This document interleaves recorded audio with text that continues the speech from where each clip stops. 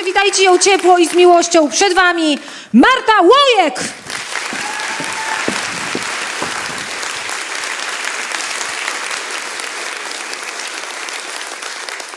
Nie przywitam się z wami, że tam siema, co u was, dzień dobry, bo to jest tak jakoś nie po polsku. Przywitajmy się, jak przystało na Polaków.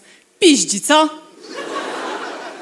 Jak w Kieleckiem. To jest w ogóle bardzo ciekawe, że wszędzie w Polsce mówi się, że piździ jak w Kieleckiem. Ja ostatnio byłam, miałam występ w Kielcach i mówię, a zabłysnę przed Kielczanami taką ciekawostką i mówię im ze sceny, że a czy wiecie, że wszędzie w Polsce mówi się, że piździ jak w Kieleckiem?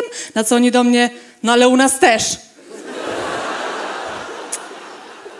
Przyjechałam z Gdańska. Wychowałam się na zajebistym osiedlu, naprawdę. Ono spełniało wszystkie trzy podstawowe warunki idealnego osiedla. Ładne, ciche, spokojne, no bajka. Ale coś mi się przestawiło, mówię, sprawdzę, jaka jest historia mojego osiedla. I czar prysł, bo okazało się, że moje osiedle powstało na chwilę przed II wojną światową z myślą o członkach niemieckiej partii robotniczej. I jak do mnie dotarło, o której partii robotniczej my mówimy i kto w takim razie wydał rozkaz budowy mojego osiedla, to miałam takie aha. I to nie jest zwykłe aha, to są kurwa inicjały.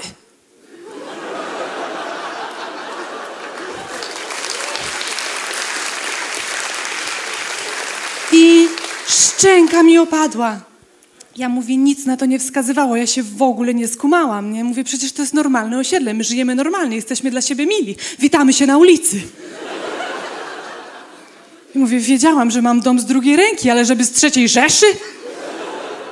I dzwoni do mnie znajoma i mówi, że oni wzięli kredyt jakiś wielki na mieszkanie, które się nie wybudowało, że deweloper ich oszukał, że ich okradł, że zajebał miliony. Ja mówię, słuchaj, mój też zajebał miliony.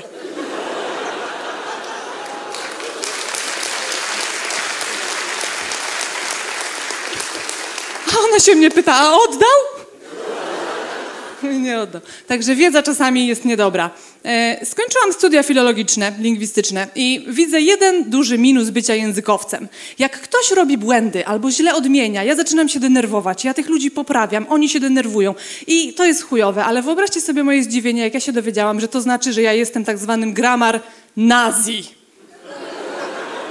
Mówię, nie wierzę. Ale plus studiów taki, zakochałam się w profesorze. 10 lat starszy, mądry, przystojny, tak mnie onieśmielał strasznie, ale coś mi się tak wydawało, że on też coś do mnie, bo na jego zajęciach ja zawsze byłam taka całkiem aktywna, on zawsze był zadowolony, mnie chwalił i w ogóle. I przyszedł czas licencjatu. Trzeba było wybrać promotora. Ja oczywiście wybrałam jego, mówię, kocham cię, promuj mnie.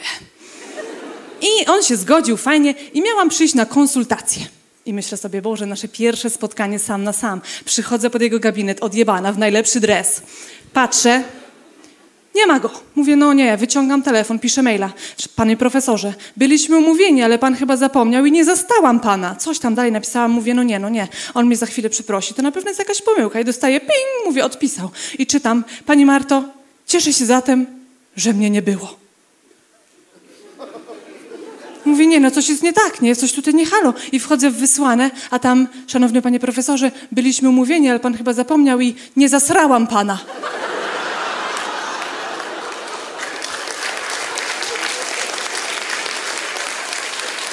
A bardzo mi zależy.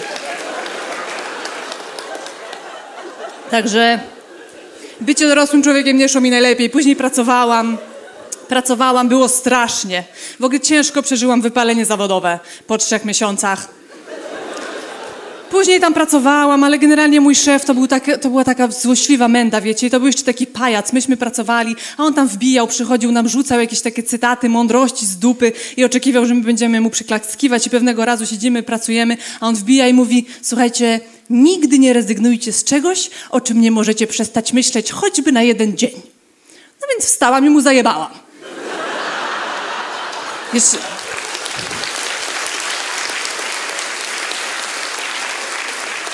Jeszcze po drodze do drzwi nasrałam mu na biurko.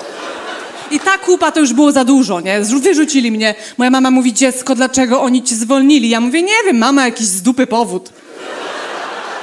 I byłam bezrobotna i stwierdziłam, muszę coś robić z życiem. I zaczęłam robić stand-up, no nie? I po, podzielę się z wami moimi wnioskami z tego. Powiem wam tak, nie jest łatwo.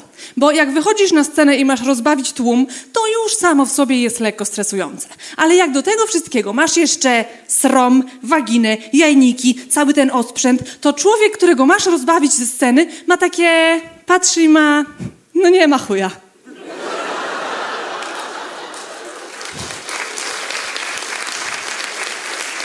I byłam ostatnio na imprezie jeszcze a propos tego.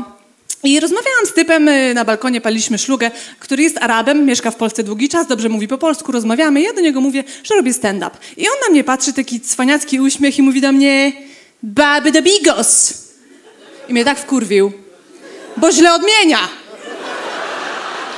I mówię, dopełniacz kogo czego, do bigosu. I on mówi, tak, tak, baby do bigosu, baby do bigosu. I leci, nie? Ja sobie myślę, tak, będziemy się bawić. Dobra, patrzę na niego i mówię, baby do bigosu, araby do gyrosu, kurwa. On się nie śmiał. Do bigosu. Do bigosu ci mogę nasrać ewentualnie. Tak wiem, bardzo kobieco. Właśnie też kobiecość, nie? O co z nią chodzi? Ja od, pamiętam od małego miałam z tym problem, bo już w szkole się okazało, że bycie typiarką jest chuj nudne, nie? Że dziewczynki to najlepiej, żeby były ładne, ciche, spokojne, ładne, ciche, spokojne, a co my jesteśmy dziewczyny, kurwa, osiedle? I mówię, o nie, gdzie w tym jest radość jakaś z życia? Mówię, ja będę robiła te rzeczy, które sprawiają mi radość, no nie? Ale ludziom to nie pasowało i słyszałam tylko dziewczyna i pluje, dziewczyna i przeklina, dziewczyna radiowozy podpala. Wszystko było nie tak. W liceum znalazłam sobie nowe hobby, to też było nie tak, bo dziewczyna i zioło w piwnicy pali z wiadra. Chłop to chłop, ale dziewczyna no tak nie kobieco, nie? I ja mówię, kurczę, co ja mam zrobić, żebym była kobieca? I patrzę sobie dookoła, wiecie, że kobiety starsze chodzą na obcasach, sukienki i tak dalej. Ja mówię, to jest to. Ja się zmienię, będę kobieca. Zaczęłam się wylaszczać i myślałam, że wszystko będzie spoko. Ale nie było spoko, bo ja zmieniłam wygląd, ale nie zmieniłam zachowania. Więc skończyło się na tym, że paliłam wiadra w piwnicach w szpilkach. I to był finał. I w końcu mówię, wiecie co, nie, ja to pierdolę, ja będę jak chłop, tak jest łatwiej, nie? Jak ktoś mi coś będzie mówił, najwyżej mu przyjebie, no damy radę.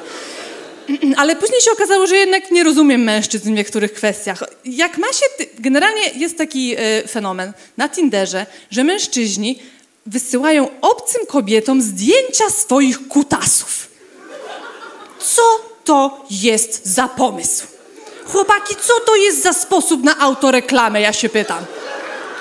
Czy, czy to jest kwestia internetu? Czy to zawsze się działo w facetach? Czy nasi dziadkowie z babcią na herbacie też pierwsze co najlepiej fiuta na stół, patrz co mam najlepszego.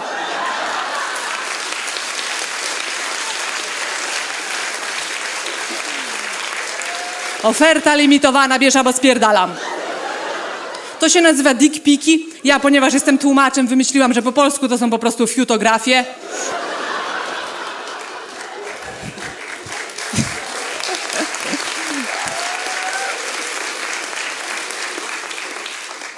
Więc na bank, ziomeczku, jak ona dostanie twoją fiutografię, to będzie miała takie... Chcę, żeby tak wyglądał mój syn, biorę. Biorę ślub, dzieci, dom, już to jest. Także chciałam tak płynnie przejść do tematów takich ślub, no nie? Bo to jest taka pierwsza rzecz, y, jakiś taki, że no trzeba by i tak dalej, taka presja społeczna. Ja nie czuję tej presji, ja nie kumam w ogóle po co brać ślub i sobie myślę, czy chodzi o nazwisko, że będziesz miała lepsze nazwisko i mówię, jaka w ogóle jest gwarancja dziewczyny, że spotkasz typa, który się będzie ładniej nazywał niż ty? No nie wiesz tego, nie? Skąd wiesz, że się, nie zakochasz w gościu, który ma na nazwisko Gnojek na przykład? Co wtedy zrobisz? Ja bym zostawiła swoje, miałabym dwa, Marta Łojek Gnojek, to... To git. Ale nie kumam i właśnie połowę typer ja mam na Facebooku, one się inaczej nazywają, ja już nie wiem kto to jest. A chcę zobaczyć jak wygląda, to nie mogę, bo ona ma dziecko na profilowym.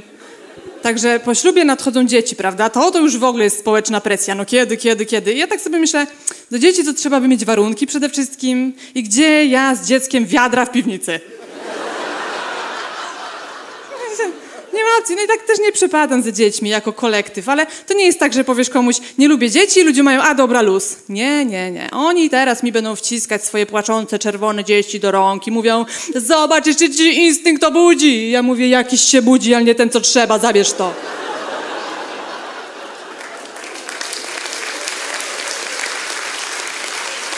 Ale to przecież można zabić z miłości, mówią do mnie. Ja mówię, nie prowokuj mnie, kurwa. Jak będziesz miała własne, to jest inaczej. Ja mówię, jak wącham własne pierdy, też niby jest lepiej, ale... Perfumować się tym nie będę. I to nie jest taka narracja, nie ma tak, że jak gdzieś pójdę i mówię komuś, a nie lubię rukoli, jak ktoś mówi, a no bo to własną musisz zasadzić. Wtedy, wtedy będzie dobra, nie? Jakby...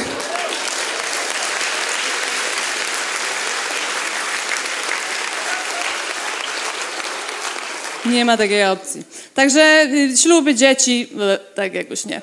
Dom, kolejna rzecz. Mam wrażenie, że jest takie społeczne gdzieś coś, że kobieta powinna być panią domu, nie? Ja sobie myślę, kurwa mać. Ja już ledwo umiem być panią w ogóle. I nie wiem, czy że się śmiejecie, to fajnie, czy mi dojebaliście właśnie.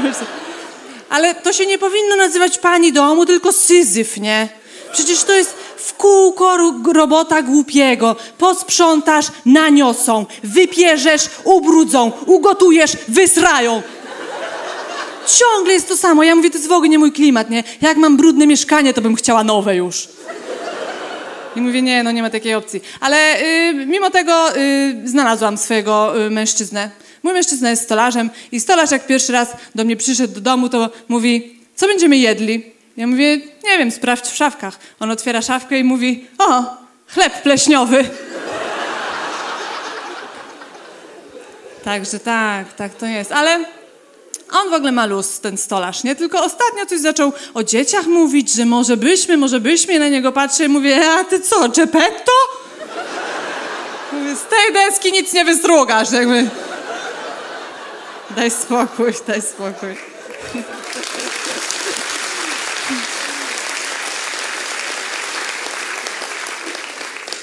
On ma luz, on zaakceptował. W ogóle on wszystko akceptuje, nie? Ten typ ma tak wyjebane na wszystko, on ma taki luz w życiu. Ja się właściwie nie powinnam dziwić, bo on całymi dniami wącha klej. Ale w ogóle ze wszystkim ma luz, nie? Ja nie gotowałam, nie sprzątałam, on sobie jakoś radził. Ja mówię, Boże, byłam taka zadowolona, że mój mężczyzna po prostu to jest mężczyzna z tych mężczyzn, którzy mają jaja. Naprawdę, oni są fajniejsi, no, bo zdradzę wam taki sekret, że każda kobieta jedną pizdę już ma.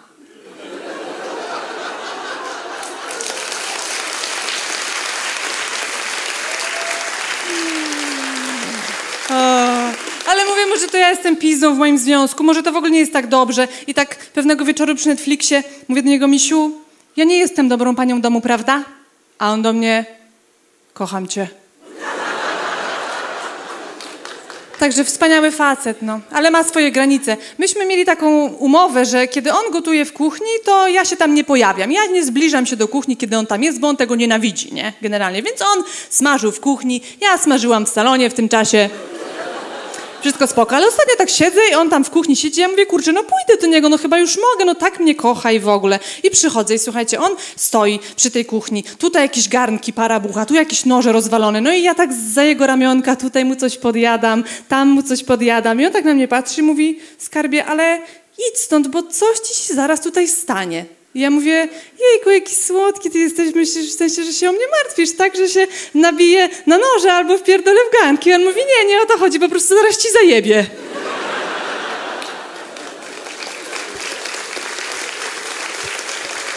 Także ja odpuściłam, ja odpuściłam. Po prostu wyszłam z takiego założenia, że jeżeli nie chcę mieć pasożyta w domu, to stanę się pasożytem w domu. Prawo dżungli i wszystko spoko, ale on zna ten tekst, no nie? I on go czytał i mówi do mnie, i ty tym ludziom ze sceny będziesz opowiadać, że jesteś pasożytem u nas w domu. Czy ty nie przesadzasz? Ja mówię, dobra, no to skoro tak, to co ty właściwie ze mnie masz? Jakie są plusy bycia ze mną w związku? I on tak na mnie patrzy i mówi, no, beka jest.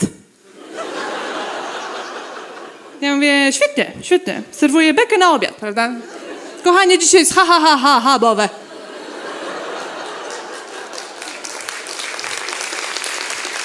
Zmarł he, he, he, he, w Kongu.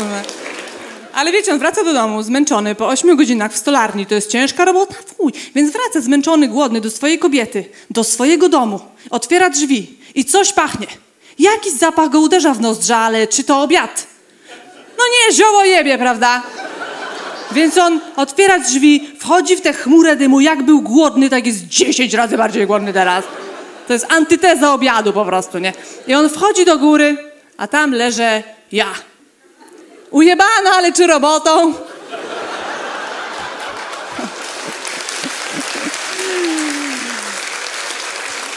I patrzę na niego i mówię, Misiu, jak dobrze, że ty już jesteś, weź ty siadaj tu i rozkmin to ze mną, bo ja od godziny kminię, po prostu nie mogę, słuchaj.